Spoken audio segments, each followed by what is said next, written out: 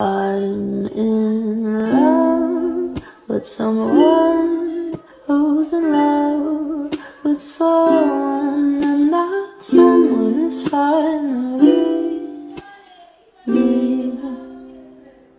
me.